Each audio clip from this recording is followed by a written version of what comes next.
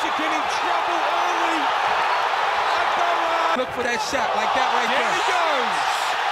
Right hands pouring